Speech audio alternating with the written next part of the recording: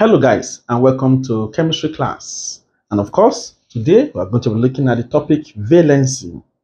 Please before we begin if you have not subscribed to this YouTube channel it's very easy to do so and it is totally free.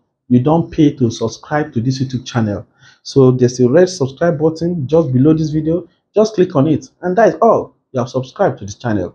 Please do not forget to give this video a like give it a like. It's not something difficult. Just click on like on the like button right now right now as we speak. And of course this will help other uh, students to find this video. All right so today we are looking at valency. And do not forget that this uh, tutorial is brought to you by the O3 Schools JAMB app. It is currently being displayed on the screen, and the O3 Schools JAMB app is uh, by far the best CBT practice app available. It gives you a feel of how you are going to see your exam that day, uh, the, the CBT environment is built and configured exactly like JAMB's own. It has all the JAMB past questions and answers, all the recent JAMB past questions and answers on the app for all subjects. For all subjects, has wonderful features. You can practice. You can you can you can do your mock tests. and of course you can do your, your study mode also. There are a lot of other features on the app, such as question search, where you can look for questions under topics and what answer them after reading about the topic right? Uh, other wonderful features that is the UTME challenge, a challenge that uh, that brings all Jambites together and they compete to win prizes. Uh, that is a yummy, yummy, yummy uh, feature of the app. All right, so please, uh, there are a whole, a whole lot of other features, features of the app, and the app you can use it anytime and anywhere once you have activated it. The the app has two modes. The the free mode allows you to answer just five questions to test the app while the paid mode uh, asks you to activate with 2,500 naira. A lot of you, a lot of you will agree with me that 2,500 naira is something very, very, very small. It's what you even spend uh, on, on outings at a go. So why can't you spend it for your education? Well, that question is left for you. So if you want to activate the app, follow the activation procedures, and you are good to go. So today I'm going to look at valency. What is valency? Valency of an element or the valency of an element is simply its combining power. The valency, the valency of an element, element is simply its combining power. Its combining power. Right? So you may want to ask for that. Also, the valency of an element is the number of moles. Let me write it down so that you get it very well. The valency, valency of an element is the number of moles of moles of hydrogen atoms hydrogen atoms that can combine with one mole of the atoms of that element. So when we are talking about valency, we are talking to elements, right? So we have said that what that valency of an element is simply its combining power in very, very simple definition. And we're also saying that also the valency of an element is the number of moles of hydrogen atoms. The number of moles of hydrogen atoms that can combine with one mole of the atoms of the elements in consideration. All right. So of course, uh, we can look at the periodic table to uh, to give us a glance of the valencies of what elements across what the period right? So if you look at uh, the periodic table from group 1 to group uh, 8 or group 0, right? So let us see uh, elements here. Let's see uh, uh, the groups, the groups here, right? Let's see group 1, let's see group 2, group 3, group 4, group 5, group 6, group 7, then group 0 or group 8, right? All right, so now let's see the valencies. All right, now the valency of what? Of elements, rather, than valency here. The valency of elements in group 1 is simply 1. The valency of elements in group 2 is 2. The valence, valency of elements in group 3 is 3. The valency of elements in group 4 is 4. The valency of elements in group 5 is 3. The valency of elements in group 6 is 2. The valencies of elements in group 7 is 1. And the valency of element in group 0 or group 8 now, 8, right, or 0 is what? 0. Now, if you observe very well, you can notice that the elements in group 4 have the highest valency. This is the carbon family. The carbon family, right? The carbon family has the highest valency, right? Right? Why you can see that elements in group 8 or group 0 have what no valency at all. And the elements in group uh, in group 8 are called the noble gases, noble gases, or you also call them the inert what inner gases. All right. So you see that the, the element in group 8 has no valency, while the element in group 4, or usually called the carbon family, has the highest valency. Now, having known this about the periodic table, what does it help us to know? What does it help us to achieve? Why do we need to know the valency of what of elements? Because we have seen that what is their combining power. That means what when what elements combine together, like the valency of what those elements can help us to predict, can help us to predict the formula of what of the compound they forms when element what combine. Right, so it is one of the very, very important what powers and reason why we must understand what valency very well. So, uh, the, the formula of a compound can be predicted from what? From the valency. Now that we have seen this, now there's another important thing we need to know before we talk about the form the, the, the, the, the prediction of the formula of a compound. The, the important note is that some elements have variable valency. What I mean that what, what I mean by variable valency is that they can have more than one valency. And why does this happen? This happens because because of what electronic configuration. Because what ele elements uh, well, ele ele electrons rather they change shells, and when they change shells, most sometimes they lose what electrons, and so you can see that what some elements will have varied what valency. Let's see examples of those what elements. Elements that have varied valency. You see them. Number one, we're going to talk about is nitrogen. Nitrogen has what uh, a valency, nitrogen, nitrogen has valency of what? Minus 3 or what? Of minus 5. So these are what are the valence of, of nitrogen. So we have other what um, uh, uh, elements that have very valency like copper. Copper has a valency of 1 and what? 2. The Cu plus, Cu plus is called what? The cuprous should take note of that. Why the Cu2 plus is called what the cupric. All right, so that's copper. Copper has what a very valency of one and two. Also, we have silver. Silver also have a very valency of one and two. All right, so uh, uh, silver is what Ag. The Ag plus is called the argentous.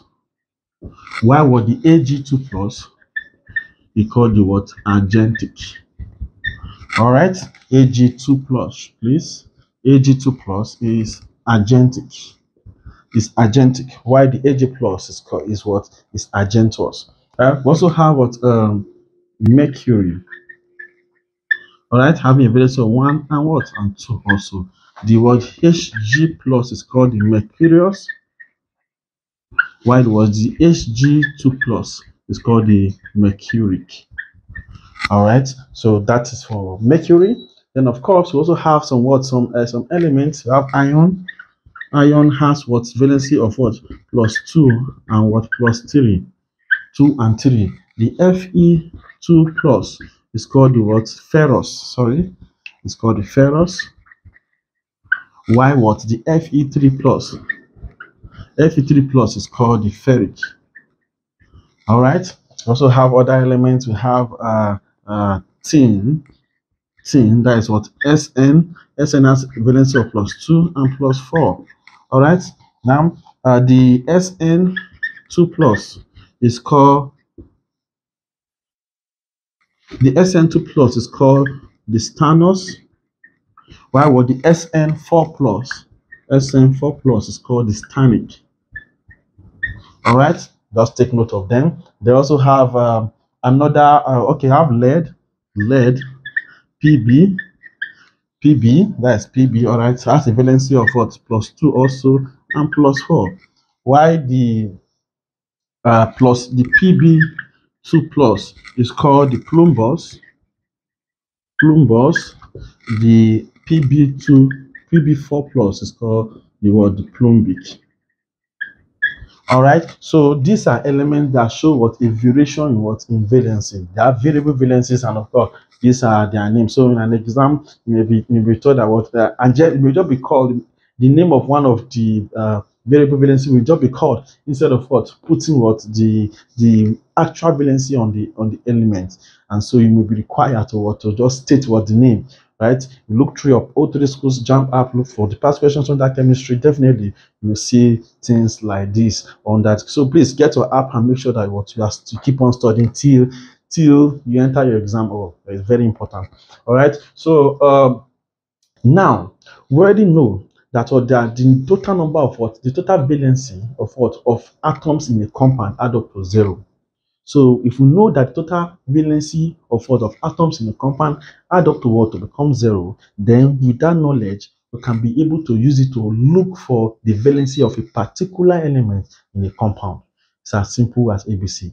So for example, now if I'm given a compound like Cl2O7, and then we are told to find the valency of what of chlorine in this compound, it's very easy. We already know the number of atoms of chlorine we have in this compound, number of atoms of oxygen we have in this compound. So what we just need to bring to bear is the charge on oxygen. So the charge of, on oxygen is what is minus 2, minus 2 for oxygen, right? So what you simply do, you know the number of atoms of chlorine here is what is 2, that is 2Cl, right? Then plus into bracket now. Now the charge on uh, oxygen is what minus 2 times what now? Times 7. Now we know that the total valency of atoms in a compound is zero. So that means what everything is supposed to be what zero, right? Because we're looking for the valency of chlorine here. So the total valency will be what will, uh, will be equals to zero, must be equal to zero. So with this now, I'm going to have 2Cl, then plus into bracket minus 2 times 7 is what is 14, minus 14 rather, which is equal to 0. Now, having known this, we can open this bracket. Plus times minus is what is minus, so that's 2Cl minus 14 is equal to 0. Then 2Cl is equal to 14. Right, if we divide both sides by 2, we have 2, we have 2. Cl equals to what? Plus 7. So the valency of chlorine in this compound, Cl2O7 here, is what is plus 7. It's very, very easy to calculate. All right, so if I give given, let's say, uh, a compound like um, like hydrazine, hydrazine, having a formula NH2 NH2. If I told to find what the valency of what of nitrogen in this compound, what I'm going to do the same approach. How many atoms of nitrogen are in this compound? Just two. So that's what two n then plus how many um, atoms of what hydrogen are here? That is four. But of course, what is the charge on hydrogen? Hydrogen is plus one. Is plus one, isn't it? Rather plus one. So I'm going to have plus into bracket uh four times plus one, uh, four times one then it's equals to what now? Zero. I hope understood what we did there. Right? I don't want to put uh, 4 times plus 1 because we already know that the charge is what? Is plus 1, of course. So 4 times 1 is equals to 0. So that 2n plus 4, 4 times 1, which is 4, is equals to 0. So uh, um, 4 will go to the other side, isn't it? So that 2n is equals to, if a positive sign is crossing the sign of equality, it turns to negative, we're going to have minus 4. So that we'll divide both sides by 2 over 2. 2 cancel 2 n is equals to minus 4 over 2 is what? Is minus 2. Now the valency of nitrogen in this compound hydrogen in hydrazine is what? It simply was minus 2. So this is basically what uh, what we mean when we say that what that the that the, the, the valency in a compound is usually what add up what to zero, right? The constant the valency of the constituent atoms usually add up to to zero. All right. So having known this, now we have said also that valency with valency rather we can be able to predict the formula of a compound. So let us see how we can use the valency of what? Of uh, of uh, of atoms in the compound of the constituent atoms in the compound to predict the formula of that compound. So, for example, if you know the valency of what? Uh, of element one, let's say element one, element one valency, then let's say element two, two valency, then let's see what the result of interchange. So by that third column, what we mean is that to, to write the formula of what of a compound using the valency, what you simply do is to interchange the valencies. For example, if we have, for example, if you have sodium, which is what Na plus, the charge on sodium is, uh, is plus one. So the charge is what the valency is, is one, isn't it? Now, let's say we have chlorine, which is what minus. The valency is what minus 1 yeah, isn't it? So now, when we want to write the formula of this compound, what you simply do, we interchange the valency. So we write the first element here, Na, right? Then what is the uh, valency of chlorine? 1 is 1. Na1, let me just put it there first. And not minus 1, we forget about the, the, the. So Na1, let's say then I'm going to have what? Cl. Cl, the charge, uh, the valency here is what is 1 also, Cl1. So, so that was the formula of what uh, these two elements combining because of what now NaCl. You understand? So now let's take another example to make to drive our point home. Let's we have Ca, calcium is what 2 plus, then uh, the valency is 2, then Cl minus, the valency is minus 1 or 1 rather. I'm just say 1. Right? So the valency here is what? Is 1. So for example, uh okay, minus 1 that is what? Minus 1 all right this this plus 2 this is what? Minus 1 all right? So then now what we do the same thing we do. Take calcium ca right? Then what is the the valence here? 1 ca1 then we take what? Cl of course this is what 2 so take cl2 so that the, the, the formula of the compound form now because of what ca cl2 it's not very easy. It's very easy. Let's take another one. Let's see for example aluminium 3 plus uh, that the valency is 3 and then we have what uh, uh, uh, let's say oxygen 2 minus valency of what minus 2 all right so what to simply do is also what interchange them. All right so i'm going to have al first that's 2 then what o that is what now 3 so i'm going to have what al2 o3 that one is formed so let's see for example let's see ca2 plus having a valency of 2 then let's see PO4 having a valency of minus 3. So if these two uh, if these two combine, what happens? You have what your CA first, your CA first having what 3, right? CA3, isn't it?